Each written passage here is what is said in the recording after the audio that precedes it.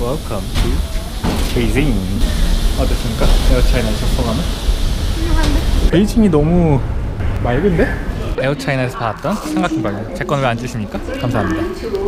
저 지금 우리가 중국에 왔는데 경유할 때 신용카드로 결제하면 될 거라 생각했는데 자판기 같은 거에서 물을 못 뽑아먹는 거예요. 그래서 급하게 알리페이를 설치해가지고 한번 써볼 겁니다. 원래는 알리페이가 중국 은행 계좌가 있는 사람만 쓸 수 있는데 이번에 Tour Pass라는 걸 만들어가지고 90일 동안 쓸 수 있는 선불 상품권을 구매하는 식으로 할 수 있대. 제가 한번 설치해보겠습니다. 알리페이를 들어가면 여기 Tour Pass라고 치면 나오네.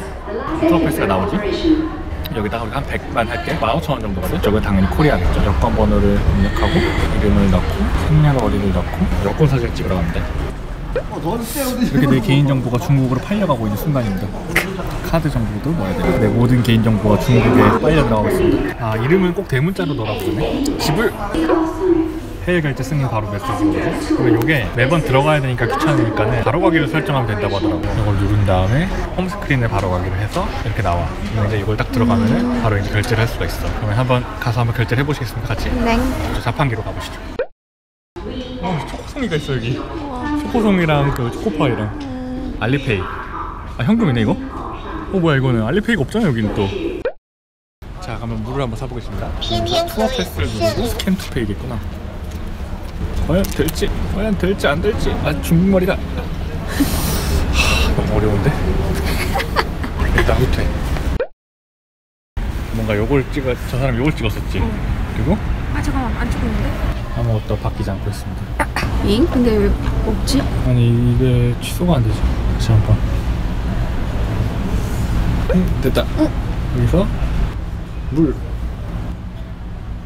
확정 확정 한자를 잘 아는 게 상당히 멋있어 보이는데? 모르겠다. 또 안 되는 것 같다. 뭔가 거의 다 온 것 같은데. 이거 화장실 가서 이빨 좀 닦고. 어? 뭔가 되는 것 같다. 오 됐다 됐다 됐다 됐다. Pay Now가 떴어 갑자기. 아 그래서? 느려서 그런 거구나. 어 이걸 하니까? 오 pay 됐어 pay 됐어. 나와라 이제 나와라. すごい 신기방기 이렇게 우리는 첫 알리페이를 썼습니다. 물맛을. 알리페이의 물맛을 한번 봐보죠 물 먹고 이제 똥을 딱 때려주면 되겠네